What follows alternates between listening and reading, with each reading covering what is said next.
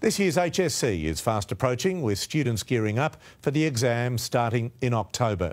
Again this year they'll be given a helping hand with the publishing of the HSC study guides tomorrow, along with tips from some high profile teachers.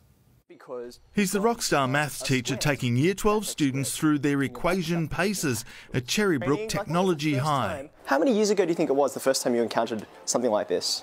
Eddie Woo is one of eight expert teachers providing tips for the final months of HSC preparation. Right, so now, if I asked you to uh, graph this, what are the two things you just found? You know your solutions? What are they?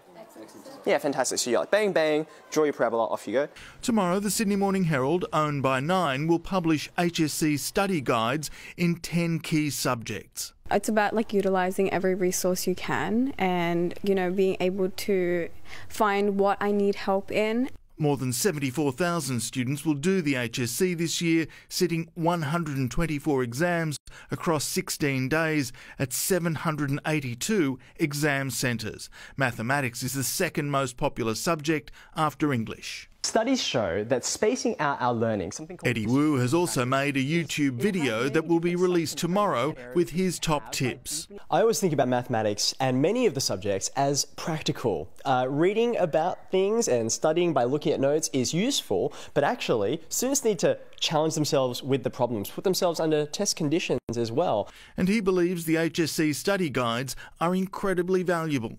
Firstly, that they systematically go through the wide variety of different skills and syllabus dot points that are important for students to master the curriculum. And then secondly, it's just a really deliberate way to structure revision. Now, while study is obviously critical, staying healthy is equally important for stressed out HSC students. So, as well as publishing the study guides, the Sydney Morning Herald will have links to tips for such things as eating well and sleeping well.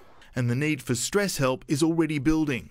There's trials coming up, so that's a bit stressful, and I'm doing a major, so the pressure's building up. This is the first time we're doing like three-hour exams, so like I'm just really nervous about like writing writing like so much. The HSC study guides are available with tomorrow's printed edition of the Sydney Morning Herald and free online at the SMH website. In Cherrybrook, Eddie Meyer, 9 News.